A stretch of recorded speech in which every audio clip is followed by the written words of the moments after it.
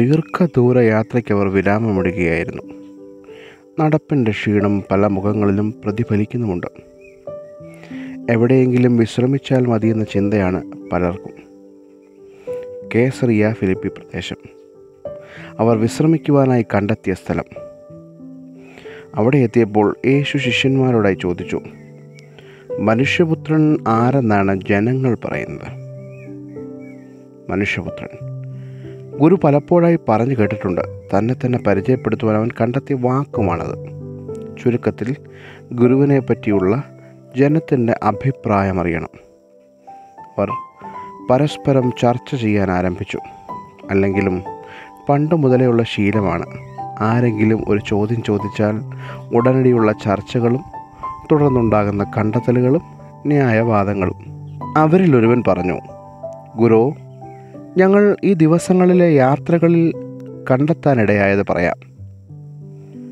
അവർ തെരുവോരങ്ങളിലും മറ്റും പറയുന്നത് അങ്ങ് ജ്ഞാനസ്ഥാനത്തിന്റെ സുവിശേഷം പ്രസംഗിക്കാനെത്തിയ സ്നാപക യോഹന്നാന തുല്യനാണെന്നാണ്.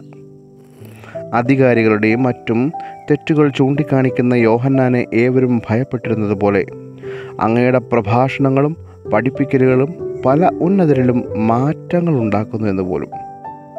ഗുരു അങ്ങ് തൊടുത്തുവിടുന്ന വാക്ഷരങ്ങൾ പലരിലും മുറിവുണ്ടാക്കുന്നുണ്ട്. ആയതിനാൽ അവർ പറയുന്നത് അങ്ങ് സ്നാപകയോഹന്നാനാണെന്നാണ്. അപ്പോൾ മറ്റൊരുവൻ പറഞ്ഞു പക്ഷേ ഗുരു കഴിഞ്ഞ ദിവസം ഗ്രാമത്തിലെത്തിയപ്പോൾ അവർ അങ്ങയെപ്പറ്റി സംസാരിക്കുന്നുണ്ടായിരുന്നു. നാട്ടിലൊക്കെ അത്ഭുതങ്ങൾ പ്രവർത്തിക്കുന്നതിനാലും മരിച്ചവരെ പോലും ദിവസങ്ങൾക്ക് ശേഷവും ഉയർത്തെഴുന്നേൽപ്പിക്കാൻ പോലും സാധിക്കുന്നതിനാലും അവർക്ക് അങ്ങിൽ ഏലിയായെ കാണാൻ സാധിക്കുന്നു. കർത്താവിന്റെ ഭീതിജനകമായ ദിവസം വരുന്നതിന് മുമ്പ് ഏലിയായെ ഞാൻ നിങ്ങളുടെ അടുത്തേക്ക് അയക്കുമെന്ന മലാക്കി പ്രവാചകനിലൂടെ പ്രവചിക്കപ്പെട്ടത് അങ്ങയെ പറ്റിയാണെന്നും അവർ ചിന്തിക്കുന്നുണ്ട്. ആയതിനാൽ ഏലിയ പ്രവാചകൻ ഗുരു അങ്ങയിലൂടെ പുനർജനിച്ചതാണെന്നാണ് ജനങ്ങൾ പറയുന്നത്. അപ്പോൾ മറ്റൊരു ശിഷ്യൻ പറഞ്ഞു ഗുരു ഞങ്ങൾ കേട്ടത് വേറൊന്നാണ്. അങ്ങ് പ്രസംഗിക്കുന്നത് അധികാരികളുടെ അസ്തിത്വത്തെ പോലും ഉലയ്ക്കുന്നുണ്ടെന്നും അവരെല്ലാം അങ്ങേ ശത്രുക്കളെ പോലെയാണ് കരുതുന്നതെന്നും ജെറുസലേം ദേവാലയം നശിപ്പിക്കുന്നതിനെക്കുറിച്ചും അവ പുനർനിർമ്മിക്കുന്നതിനെ പറ്റിയും പറയുന്നതിനാൽ അധികാരവർഗത്തിന്റെ കൊള്ളരുതായ്മകളെ വിമർശിച്ചും ജെറുസലേമിന്റെ നാശത്തെക്കുറിച്ചും പ്രസംഗിച്ചും നടന്ന ജെറമിയ പ്രവാചകന്റെ പുനർജന്മമാണെന്നുമാണ് അങ്ങയെപ്പറ്റി അവർ കരുതുന്നത്. ആയതിനാൽ അങ്ങ് ജെറമിയ പ്രവാചകനാണെന്നാണ് ജനങ്ങൾ പറയുന്നത്. മറ്റു ശിഷ്യന്മാരാകട്ടെ അവർ ജനങ്ങളിൽ നിന്ന് കേട്ടതൊക്കെയും യേശുവിനെ അറിയിച്ചു. പല പ്രവാചകന്മാരുടെയും പ്രവർത്തനങ്ങളെ യേശുവിന്റെ പ്രവർത്തനങ്ങൾ ഓർമ്മിപ്പിക്കുന്നതിനാൽ ചില പ്രവാചകന്മാർ വീണ്ടും ജനിച്ചതാണെന്നും ജനങ്ങൾ പറയുന്നുണ്ട്. എല്ലാം കേട്ട് ബോധിച്ചപ്പോൾ യേശു അല്പനേരം മൗനം അവലംബിച്ചു. ശേഷം ചോദിച്ചു എന്നാൽ ഞാൻ ആരെന്നാണ് നിങ്ങൾ പറയുന്നത്? ചോദ്യം പൊതുവിൽ എല്ലാ ശിഷ്യന്മാരോടുമായിരുന്നു എന്ന് ദ്യോതിപ്പിച്ചുവെങ്കിലും യേശുവിന്റെ ചോദ്യം ഇത്രയും നേരം മൗനമായിരുന്ന പത്രോസിനോടായിരുന്നു. കാരണം മറുപടി പറഞ്ഞത് പത്രോസാണ്.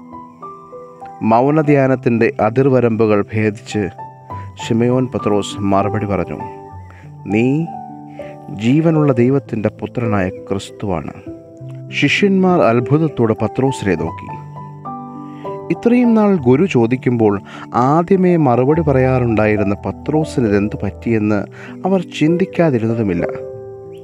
പരസ്പരം ചർച്ചയിലായിരുന്നതിനാൽ കൂടുതലൊന്നും ചിന്തിച്ചില്ല എന്നതാണ് യാഥാർത്ഥ്യം.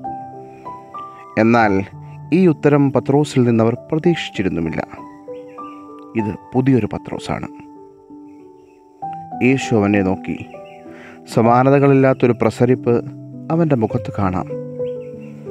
ജനങ്ങൾ പറയുന്നത് അവർ കണ്ടതിൽ നിന്നാണ്.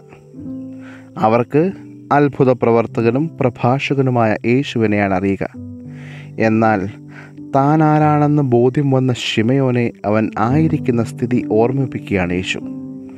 അവനിൽ സംഭവിക്കാനിരിക്കുന്ന മാറ്റങ്ങളെ മുൻകൂട്ടി കണ്ട് യേശു പറഞ്ഞു യോനായുടെ പുത്രനായ ഷിമയോനെ നീ ഭാഗ്യവാൻ.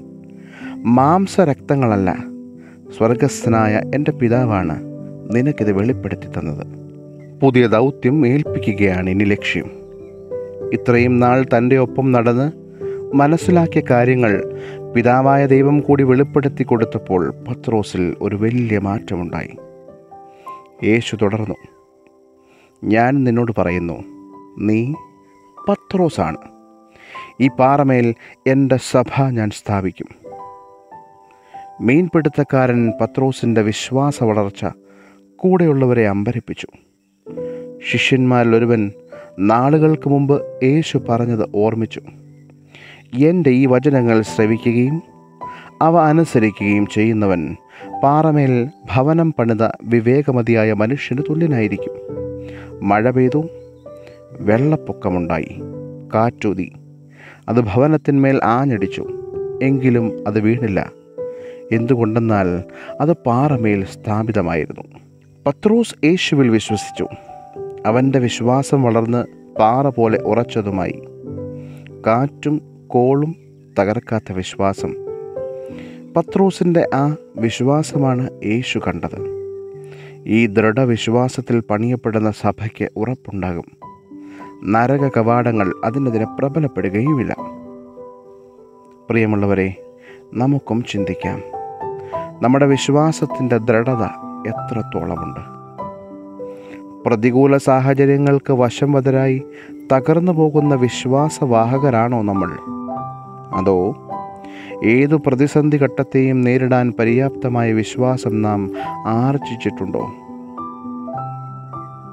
യേശുവിനൊപ്പം സഞ്ചരിച്ച പത്രോസിന്റെ വിശ്വാസ ജീവിതത്തിന് മാറ്റം സംഭവിച്ച് യേശുവിലുള്ള വിശ്വാസത്തിൽ അവൻ ആഴപ്പെട്ടുവെങ്കിൽ ഈശോയെ വിശുദ്ധ കുർബാനയിലൂടെ ദിനവും ഉള്ളിൽ വഹിക്കാൻ ഭാഗ്യം ലഭിച്ച നമ്മൾക്കും മാറ്റം സംഭവിക്കില്ലേ? വിശ്വാസത്തിൽ ആഴപ്പെടുന്നുവെങ്കിൽ യേശു നമ്മോടും പറയും സ്വർഗരാജ്യത്തിന്റെ താക്കോലുകൾ നിനക്ക് ഞാൻ തരും. നീ ഭൂമിയിൽ കെട്ടുന്നതെല്ലാം സ്വർഗത്തിലും കെട്ടപ്പെട്ടിരിക്കും. നീ ഭൂമിയിൽ അഴിക്കുന്നതെല്ലാം സ്വർഗത്തിലും അഴിക്കപ്പെട്ടിരിക്കും.